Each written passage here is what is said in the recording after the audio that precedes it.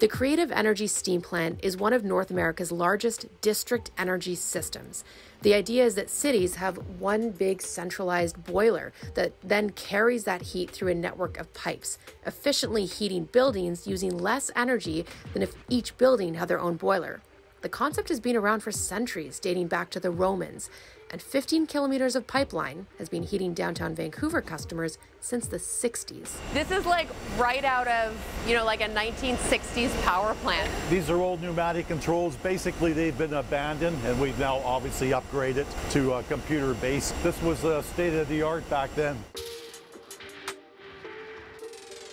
So this is Command Central, basically. Exactly, yes. So the old pneumatic controls, that's only for one, one or two boilers. The other five boilers are basically controlled from, it's called our Delta V system.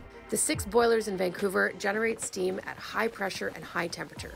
Pipes then carry that to heat radiators, underfloor heating, and domestic hot water, your hot shower in the morning. This has been incredibly efficient for high density regions like Vancouver for years efficient, but not necessarily green. That's the main fuel that comes into the plant. This yellow pipe? Yes, that's all natural gas. That's our main source of fuel. Creative Energy's natural gas powered boilers are the single largest source of greenhouse gas emissions in Vancouver. That's why there are major plans to convert to a lower carbon fuel and, most importantly, have electric boilers do most of the work.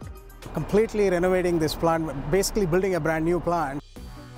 We are adding phased manner electric boilers and drawing power from BC Hydro's uh, substation here in Murrin substation. First, the old boilers will be replaced with high efficient boilers.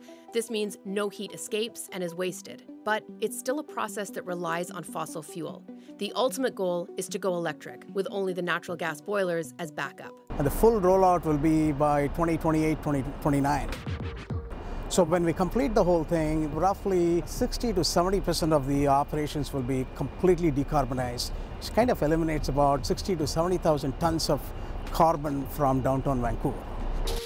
That would be a massive reduction to the current carbon footprint of the downtown core. Creative Energy currently has this proposal before the BC Utilities Commission and has similar plans for Horseshoe Bay, Toronto, and Seattle. Johanna Wagstaffe, CBC News, Vancouver.